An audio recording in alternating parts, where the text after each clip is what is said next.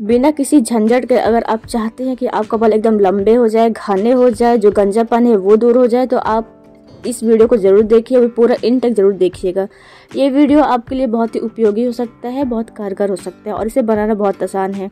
जी हाँ सिर्फ़ एक तेल के हेल्प से आपका जो गंजापन है, आपका बाल जो कम हो गया है, वो एकदम फिर से घना हो जाएगा। तो सबसे पहले मैंने एक पैन लिया है, उसमें मैंने एक कप पानी लिया है और उसमें मैंने ये गुड़हल का जो है, पत्ता जो मैंने डाला है गुड़हल का लीफ। अगर आपके पास फ्लावर भी है तो उसको भी मिला दीजिए और उसका लीफ भी मिला दीजिए।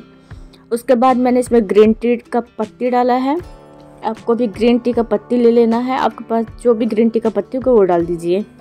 फिर हम इसको तब तक गर्म करेंगे जब तक इसमें उबाले ना आ जाए। जब एक उबाले आ जाएँगे और पानी जब एक कप से आधा कप हो जाएगा, तब हम जाके इस गैस को बंद करेंगे। आप देख सकते हैं कि पानी में उबाले आ रहा है, लेकिन अभी भी ये पानी अभी एक कप से आधा कप नहीं हुआ है। तो हम इसको अभी भी उबाले इसका निकलते रहना है। और इसको बिना ताम झाम के आप इसको लगा सकते हैं। आपका बाल जैसे आगे आप क्लिप में देखें, जिस लड़की का बाल एकदम बड़ा हो गया है लंबा हो गया सेम उसी तरह आपका भी हो जाएगा।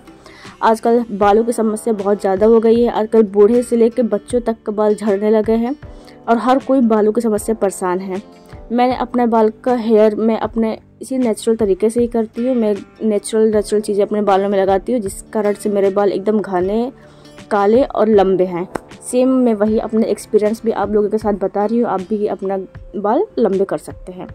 आप देख सकते हैं कि एक कप का पानी मैंने कैसे आधा कप कर दिया और इसका कलर कितना अच्छा आ गया है। गुड़हल और ग्रीन टी का पत्ती से इसका कलर रेडिश और ग्रीन कलर मिलकर कितना अच्छा कलर आ गया है। सेम इसी तरह आपको भी इतना कम पानी कर देना है।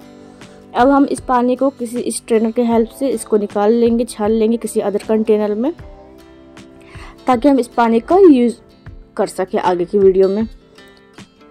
आप चाहते हैं तो इस पानी को आप स्टोर करके भी रख सकते हैं। आप इसको एक से दो हफ़्ते तक इसको स्टोर करके रख सकते हैं, और जब भी आपको तेल लगाना हो तो आप इसका इस्तेमाल बहुत ही ईजिली कर सकते हैं। आपको तो बार बार बनाना नहीं पड़ेगा ये पानी।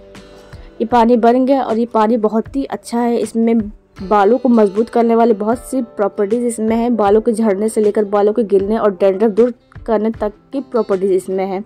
गुड़हल के फूल और पत्तियों में बहुत ही अच्छा प्रॉपर्टीज़ होता है, जो कि हमारे बालों के फॉलिकल्स को मज़बूत करते हैं और गंजेपन के दूर करने की भी क्षमता रखता है ये। बहुत सारे रिसर्च में, बहुत सारे साइंटिफिक रिसर्च में ये बताया गया है कि बालों को अगर गंजेपन दूर करना है तो आपको गुड़हल के पत्ते और उसके लीफ का इस्तेमाल करना चाहिए अपने स्कैल्प में।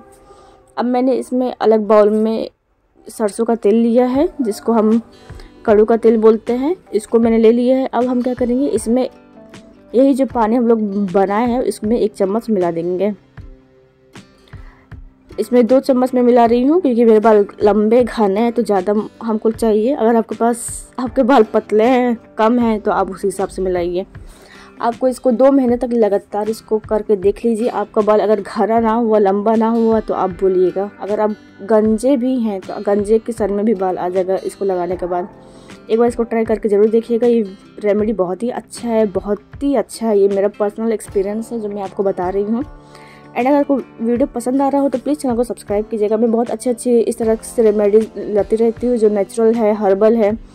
कोई केमिकल नहीं है कोई ताम झाम नहीं जो इसलिए हम अपने घर में बना सकते हैं जो मैं खुद अपने लिए करती हूँ वही मैं आपको बताती हूँ। सो so, वही एक्सपीरियंस मैं अपना बताती हूँ। एंड आपको वीडियो पसंद आया हो तो प्लीज़ चैनल को सब्सक्राइब कीजिएगा लाइक कीजिएगा कमेंट करके ज़रूर बताइएगा कि वीडियो कैसा लगा। Thanks for watching my video